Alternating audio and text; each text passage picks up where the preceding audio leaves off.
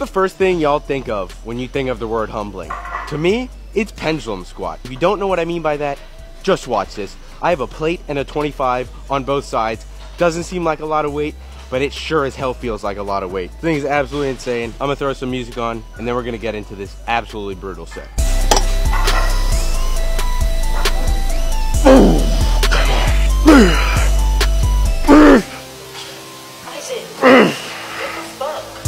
Squeeze.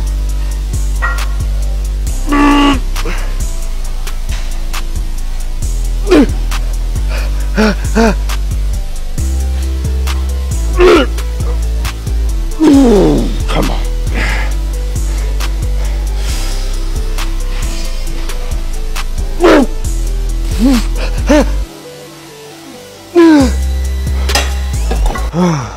That is exactly what I mean by humbling.